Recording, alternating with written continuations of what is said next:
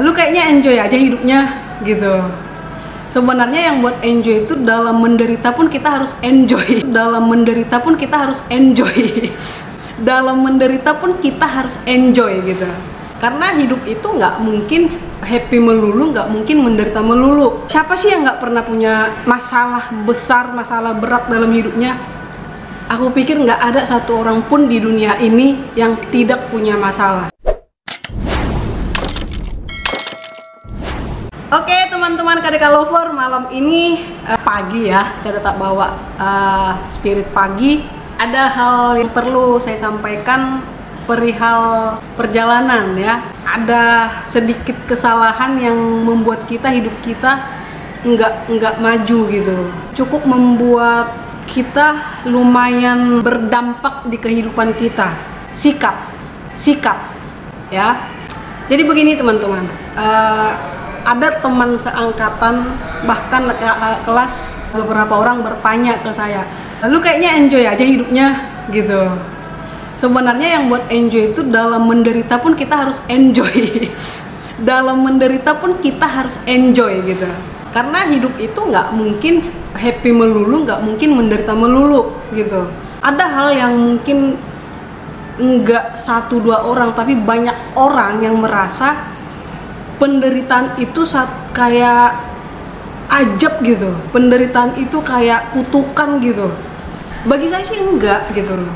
Penderitaan itu menurut saya bagi saya itu satu satu batu yang harus dilewati untuk kita naik gitu. Penderitaan itu menurut saya bagi saya itu satu satu batu yang harus dilewati untuk kita naik gitu. Dan saya juga meyakini untuk mengatakan ini nggak mudah gitu. Tapi bisa gitu.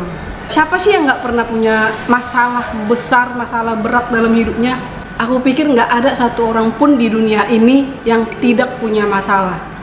Aku pikir nggak ada satu orang pun di dunia ini yang tidak punya masalah.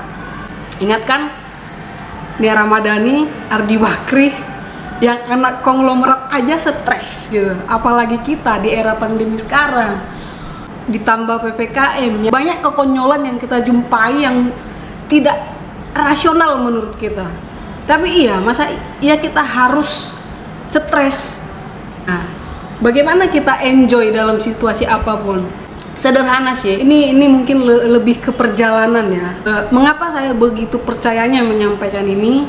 Karena saya cukup optimis yang membuat kita mampu berjalan, yang membuat kita mampu meningkat, mengupgradekan diri kita ya kita sendiri. Tidak keluarga, tidak pacar, tidak pasangan, tidak sahabat, gitu loh. Kita sendiri gitu. Percayalah, nggak ada satu orang pun yang mampu mengubah hidupmu. Percayalah, nggak ada satu orang pun yang mampu mengubah hidupmu. Berbeda dengan sosok yang kita tiru ya yang role model buat kita mungkin agak berdampak buat kita ya. Tapi sel nggak selamanya itu yang bisa mengubah hidupmu nggak bisa. Tetap dari diri sendiri gitu. Kita mungkin ada beberapa suka dengan uh, panutan lah ya. Tentu itu juga mempengaruhi pola pikir kita. Ada nih orang yang suka membandingkan diri dengan orang lain gitu. Itu itu itu sebenarnya yang membuat kita nggak maju-maju gitu. Itu yang membuat kita nggak kita tertinggal. Kita tertinggal kenapa? Karena kita selalu membandingkan diri dengan orang lain. Kita tertinggal. Kita tertinggal kenapa? Karena kita selalu membandingkan diri dengan orang lain. Kita sering iri dengan keberhasilan orang lain gitu. Kita sering iri dengan uh, pencapaian-pencapaian orang lain. Sehingga kita lupa bagaimana kita untuk memulai di diri kita. Itu perkara besarnya di pribadi seseorang gitu harusnya seperti apa? Saya selalu sampaikan mungkin ke adik saya saya sampaikan. Adik saya SMA gitu. Artinya dia sering mengeluh aku kan gak ada sekolahnya. Aku kan begini aku kan begini. Stop gue gitu ya sering kali kita langsung aku kan hanya tamat SMA aku kan hanya begini aku kan hanya begini gitu. Dan pada akhirnya kita lupa bahwasanya di titik SMA itu pun kita punya potensi yang besar. Saya selalu sampaikan ke beliau, kau tahu nggak, lima tahun lalu kau kerja di mana? Saya kerja di sama keluarga, saya sopirnya keluarga. Dia seorang sopir yang antar lintas Sumatera gitu. satu dua tahun tiga tahun kerja di orang lain gitu nah sekarang kau kerja di mana saya kerja di kampung dan kau kerja di kampung itu sebagai apa jualan ada nggak bosmu nggak ada ada nggak karyawanmu? Nggak ada. Kau sendiri karyawannya kau sendiri bosnya. Ada nggak yang ngatur kau? Nggak ada. Nah kau lihat perbandingannya lima tahun lalu. Kau masih diatur orang. Nah sekarang kau yang ngatur diri sendiri. Terlepas kau mungkin bulan ini nggak ada gaji kau masih harus putar modal dengan operasionalmu nggak dapat apa-apa tapi nggak ada lagi yang mengatur kau. Kau bekerja nggak di bawah tekanan. Adik saya terdiam.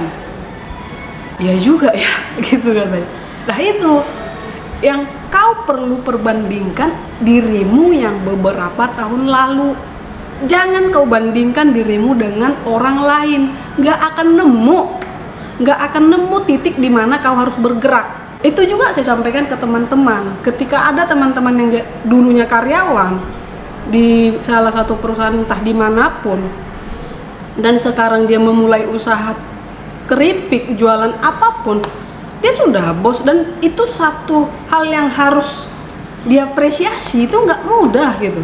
Nah itu.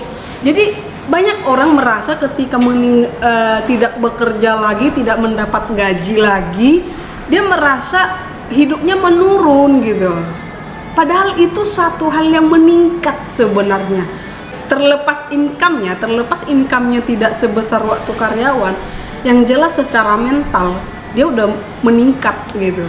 Secara pola pikir dia sudah meningkat. Di situ banyak orang terjebak gitu per, membandingkan diri dengan orang lain, membandingkan diri dengan orang yang mungkin menurut kita pencapaiannya sudah ke mana-mana dan kita masih di sini-sini aja menurutnya kita itu nggak akan ada titik di mana lu akan bisa kayaknya gua harus gerak nih.